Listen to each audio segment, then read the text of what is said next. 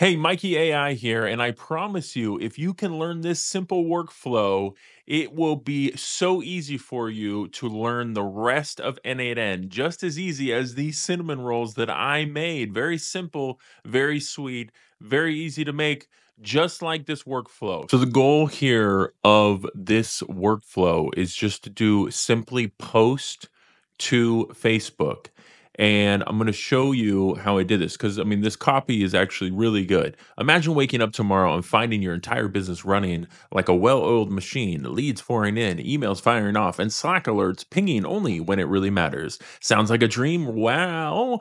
Here's your wake up call. I'm handing you the top 40 most profitable end to end workflows. Okay. So, this is what this actual workflow uh, will do for you is create all of this copy. You can see here, I had it going every every minute for a while and then create these cool images, which is really cool. Now we are using the Ideogram API, which does cost money, um, very inexpensive, a couple cents, less than a couple cents uh, for each image. Okay. And it's really important for a bunch of stuff, which I'll show you if you keep following with me on how you can use this all for ad creative.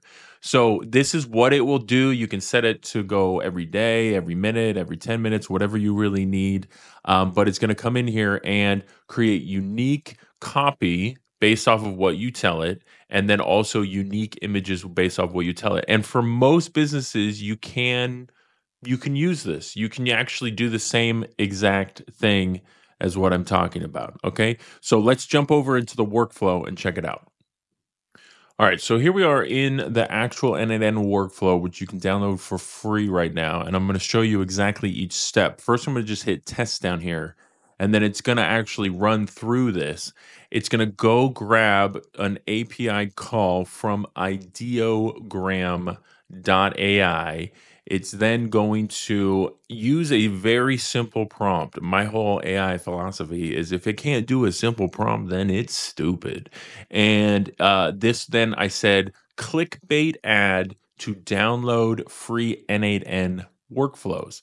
And then the prompt actually created because Ideogram uses whatever you tell it, and then it actually has its own AI inside of it. So it's like double AI, and that's why I prefer Ideogram the best for making images.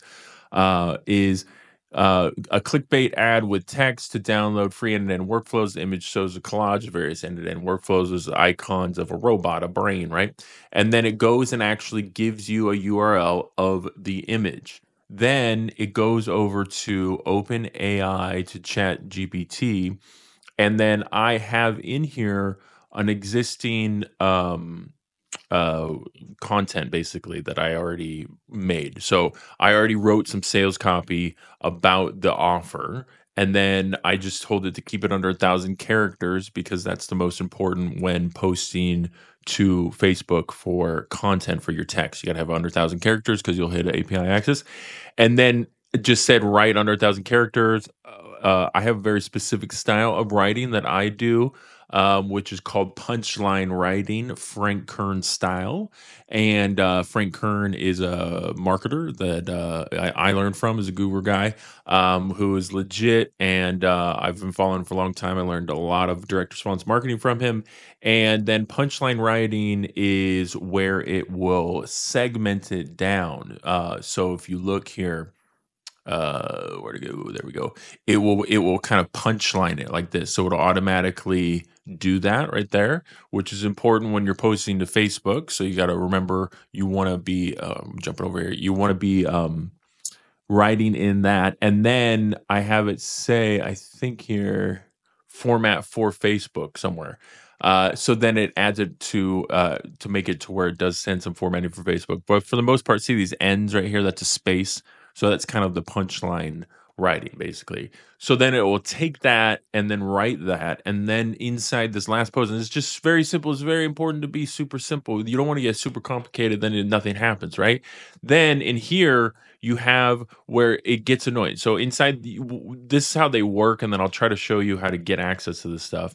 But this is what you can actually do without a higher level request from Facebook is you can go and get access to your API and start posting immediately onto your Facebook page by finding your Facebook page ID. That's what that is in the node and then forward slash photos for your node. So there's a couple millions of different ways to do that. One of the ways here is on your Facebook page. If you go all the way up to about and then go to transparency, your page ID is right there.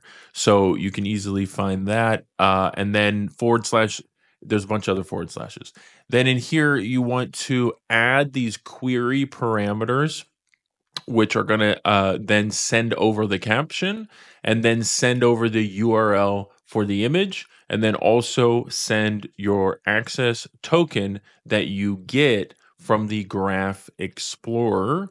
Got and there's a guide. You should probably read that on developers. Uh, the Graph Explorer is this thing, which then you need to make sure that you set the correct permissions uh, which if you could run into errors, which just means that it gives you access to the page uh, and also for Instagram if you're going to do that. Um, and then you want to, you can either do user or you can do page access. I think page sometimes works a little bit more specific. So check that and use your page, and then you copy that, and then that is your actual token for accessing the Graph API. Then the Facebook Graph API uh, will then grab your node. No, you're trying to send it a photo, and then this is where you would just come over into what has been already done. So right here, the caption here wants to be the content that OpenAI, that ChatGPT made. So you want to grab that, and then you want to drag that over into there like that, right? So I already have that in there, so I'm going to delete that. Uh, and then you want to do the same thing with the URL of the image that Ideogram uh, created and gave to you. So you want to grab that and put that over there. And then you just paste your access token in there. You shouldn't need anything else. And then it will go ahead and you can hit test if you want to test it out.